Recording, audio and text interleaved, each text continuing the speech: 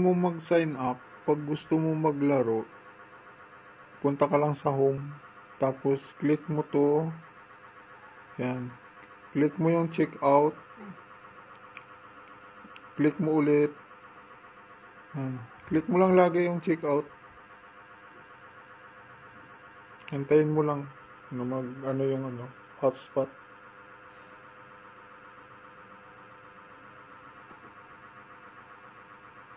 Yan, pagdating niyan, click mo lang to, hotspot.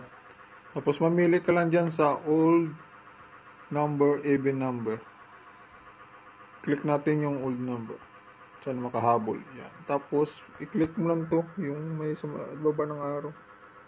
Yan, antayin mo yung oras ng yung sa bonus countdown niya. Diyan mo malalaman kung panalo ka. Kasi maglalabas dyan yung redeem o kaya refund. Pag redeem,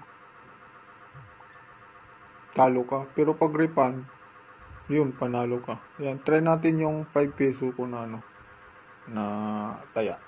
Ang tagal pa eh, 42 seconds pa.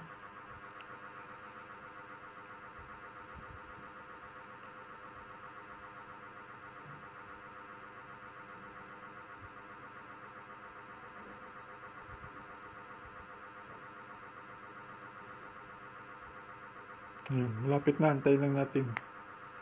Haba pa yung oras eh. Sana panalo.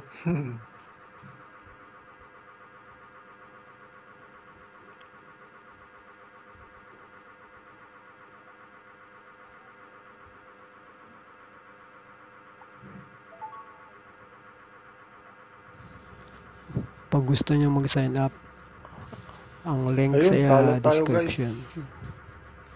Redeem points. Pag ganito, redeem points lumabas, talo ka. Hmm. Makikita mo yan sa account mo. Oh, yan. Available mo na lang 99. Tapos yung natalo mo overall 50 points na. Yan lang.